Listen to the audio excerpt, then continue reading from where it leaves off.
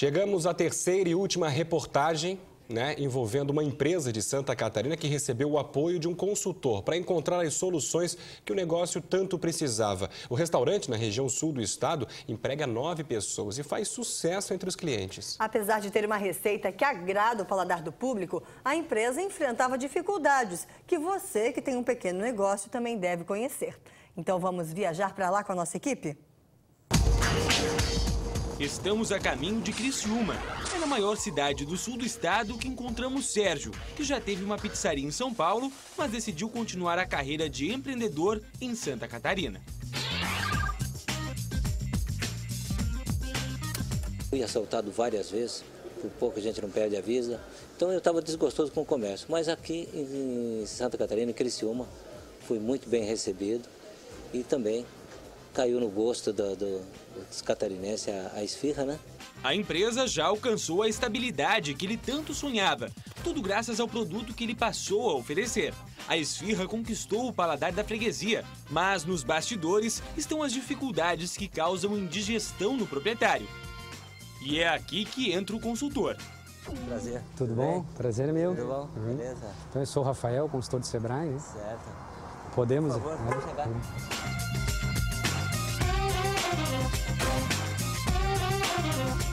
diagnóstico feito pelo consultor revelou que não existe padrão no uso dos ingredientes. Resultado: desperdício e falta de controle. A parte de controle que a gente mais tem dificuldade é dos custos, né? Porque como é artesanal, daí tem que. É tudo por rateio, tudo por média, e falta conhecimento.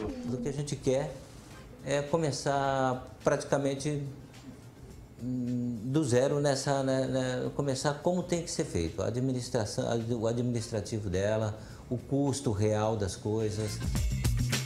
Problema identificado, é hora de buscar soluções. Rafael reúne dados e pede uma conversa com os funcionários.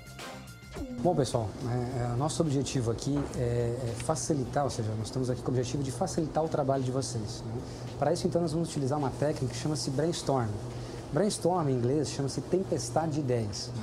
Então, a primeira regra nessa nossa dinâmica é sem censura. Quer dizer o quê? Qualquer ideia que vier à cabeça de vocês, é, vocês não pensem que isso aí não pode dar certo, isso de repente não, não iria funcionar, isso de repente aqui não tem como dar certo. Então, é, é, essa regra não vale aqui. Então, qualquer ideia que surja na cabeça de vocês, eu gostaria que vocês me falassem. Logo aparecem as primeiras sugestões. O porcionamento dos produtos na hora do manuseio seria uhum. muito bom para nós. Ah, legal. Então, repente, Ficava tudo porcionadinho, nós só, no caso, na chegada do pedido, nós só pegava, abria o pacotinho e já botava, sem assim, ter que manusear com. Esse negócio, daí ficar mais fácil para nós. Montasse um novo layout, poderia facilitar, tanto para questão dos freezer, questão do manuseio dos materiais dentro. Acho que tem muito desperdício, tem muita, muitas barreiras aqui dentro, né? Ideias simples. Quem disse que a solução precisa ser complicada? Mas só depois de colocar tudo em prática vai ser possível avaliar o que deu certo. Sérgio ainda tem muito que aprender, já que desconhece detalhes da gestão do restaurante. Dúvidas com impostos, taxa de cartão de crédito alta, lançamento de entradas e saídas. Para ser sincero, ainda tem muita coisa que aprender. A gente, a gente, a gente paga. A gente paga tudo que o contador manda a gente pagar, a gente paga. Depois de muita conversa, veio o diagnóstico objetivo. Eu percebo que, que como o empresário ele tem uma visão empreendedora, ele consegue visualizar o negócio dele a longo prazo, hoje o que ele precisa é internamente uma organização, uma base. Né? Para o negócio não desandar, é preciso seguir a receita do consultor. Uma boa quantidade de organização, doses generosas de criatividade envolvimento de todos. Que resultados Sérgio e a equipe vão alcançar?